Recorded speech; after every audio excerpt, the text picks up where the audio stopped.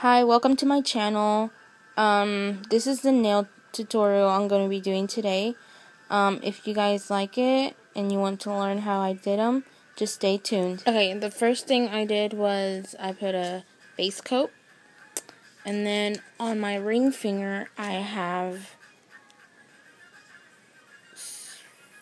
Baby Baby Pink by Santee.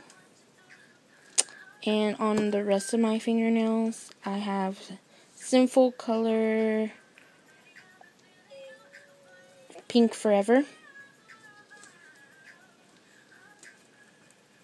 Now I'm going to use Konad Play M79. I'm going to use this polka dot image. All I'm using is a Wet n Wild black nail polish to do the stamping.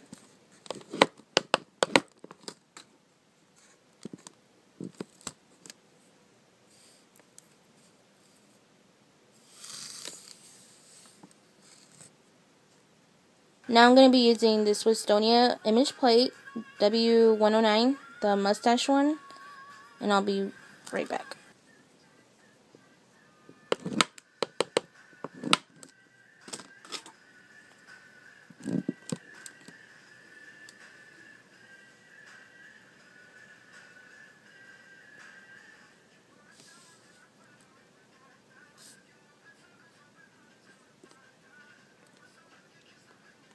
Now I'm just going to clean up the edges with my uh, some nail polish remover and my brush. And then I'm just going to wipe away the